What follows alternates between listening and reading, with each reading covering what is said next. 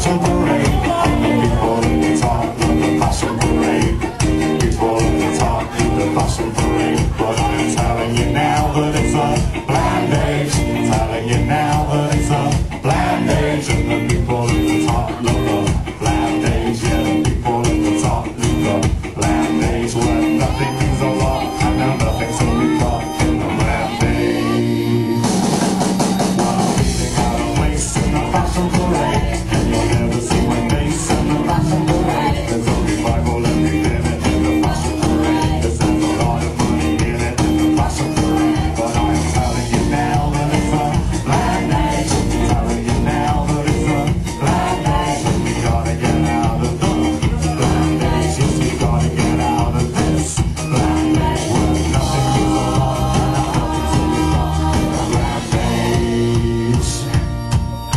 everyone, I just got back from a record store. And I got a load of punk punk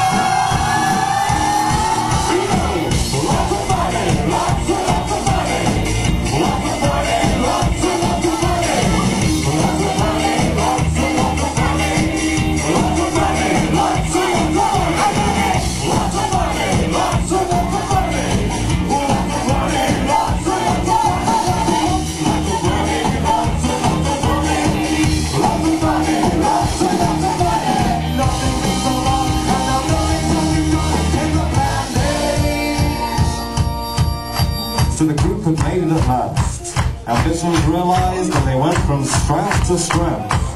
Fans and critics joined in their appreciation of their highly original sound, and cookery columns followed. But one morning, they woke up, and they weren't popular anymore. The arrival on the scene of 500 new bands sounding exactly the same had destroyed their credibility.